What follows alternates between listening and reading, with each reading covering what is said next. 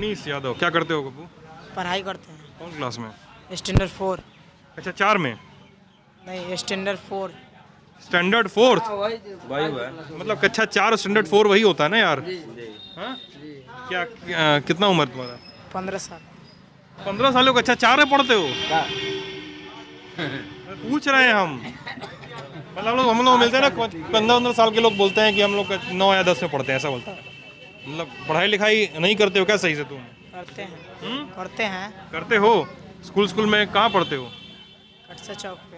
हाँ? कटसा चौक पे। कहाँ नहीं कटसा? S B M public school. Public school public school में प्राइवेट वाला मामला। टीचर वीचर आते हैं समय से? Yes sir. हाँ?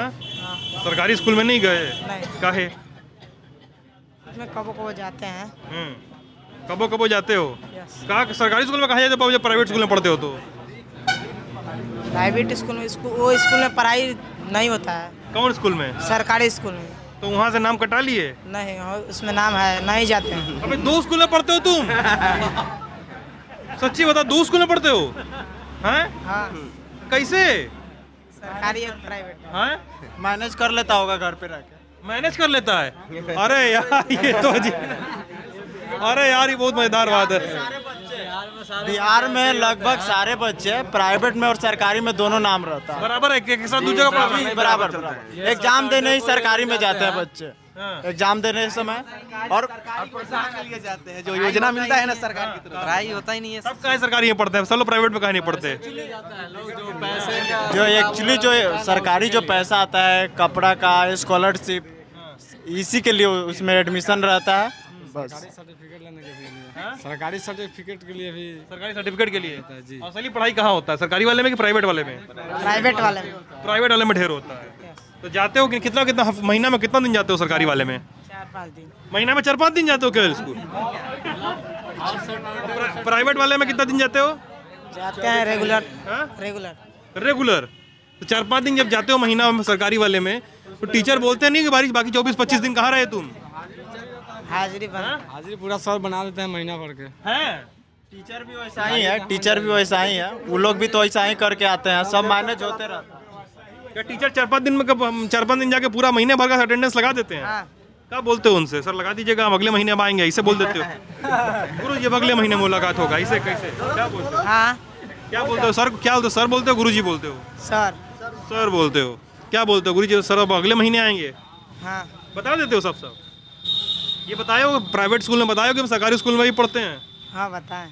क्या बोलते हैं प्राइवेट स्कूल वाले टीचर जी? बताए कि कि हाँ, महीना में दो तीन दिन जाना बस। अच्छा, वो भी बोलते हैं दो तीन दिन जाना? कि हर शिक्षा का यहाँ बहुत ज़्यादा अथी हो चुका है मतलब यहाँ पे। प्राइवेट और सरकारी को लेकर बहुत दिक्कत होता है बच्चों को पढ़ने में। हाँ। क्योंकि सरकारी स्कूल में तो सर- पढ़ाई नहीं हो पाती है। हाँ। और प्राइवेट में होती है तो वहाँ पे अमाउंट की वजह से बच्चा नहीं पढ़ पाता है। गार्जियन का अमाउंट नहीं हो पाता है उतना नहीं दे पाता है। इसलिए दोनों तो बच्चा मैनेज करता है किसी तरह कितना फ़ीस देते हो तुम? दो सौ। सरकारी में? प्राइवेट में? और सरकारी में? नहीं देते सरकारी में नहीं लगता है। सरकारी में नहीं लगता है। कौन कौन कौन मास्टर से टाइम पे भी नहीं करता है। सरकारी स्कूल कोई भी मास्टर सर टाइम से नहीं कभी अच्छा, कौन दोस्त किसमें ज़्यादा है? सरकारी वाले में ज़्यादा दोस्त हैं प्राइवेट वाले में ज़्यादा दोस्त हैं? प्राइवेट वाले में। सरकारी में कोई दोस्त नहीं बना है? नहीं। काहे महीना में चार ले जाएगा तो क्या दोस्ती होगा? महीना में चार हली जाएगा तो क्या दोस्त बनाएगा? हाँ दोस्त क्या बनेगा? और खेलने खेल, खेलने किसके साथ जाते हो? प्राइवेट वालों के साथ सरकारी वालों के साथ? प्राइवेट वाले के साथ। सरकारी वाला बस कल डिग्री पाने के लिए है ना? हाँ ये बताओ अभी तुम 2005 में मान लो तुम 2020 चल रहा है तो 2022 बाईस में तुमको मिलेगा कक्षा आठ पास है कक्षा छः पास है यहू स्कूल से कक्षा छः पास है यहू स्कूल से। तो कौन सा लगाओगे आगे? सरकारी वाला।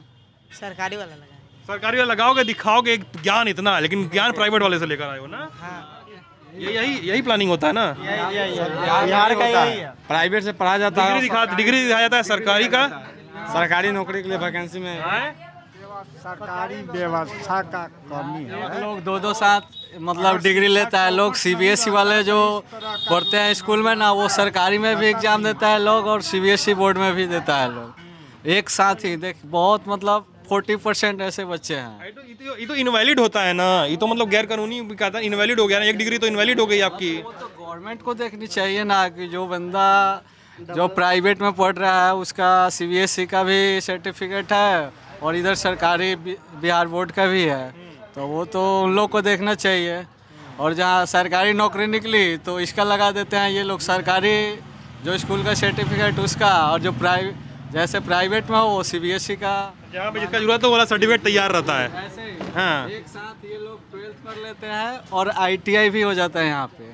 टेंथ के बाद मतलब 2010 में या बाद 2010 दो साल में टेंथ का ट्वेल्थ का भी एग्ज़ाम दे देता है लोग आईटीआई का भी दे देता है लोग। ये सब कब से चल रहा है सब सिस्टम ये तो 2010 से ही चालू है। ये सिस्टम तो दस से चल रहा है। उसके दो स्कूल में पढ़ने का? जी। उसके पहले?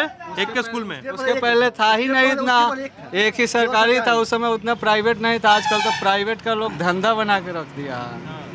जी मतलब पैसे के लिए धंधा बना दिया है लोग। यही वजह लोग कहते हैं का कि बिहार के लोग पढ़ाई लिखाई बहुत तेज होता है। इसीलिए कहते हैं का हाँ? होता है जी स्कूल में पढ़ लेता है एक सत्थे हम लोग एक में नहीं पढ़ पाए कायदे से यार। हम यूपी से हम एक में कायदे से नहीं पढ़ पाए या वो रूहानी भी नहीं पढ़ पाया एक में कायदे से। सरकारी स्कूल में पढ़ाई कुछ व्यवस्था नहीं है। प्राइवेट सरकारी इधर सारे डबल डबल डिग्री वो लोग कहते हैं डबल इंजन की सरकार इधर डबल डबल डिग्री लड़का तैयार सरकारी डबल इंजन का है तो डिग्री डबल रखने में क्या डिग्री दिक्कत डबल रखने में क्या दिक्कत है?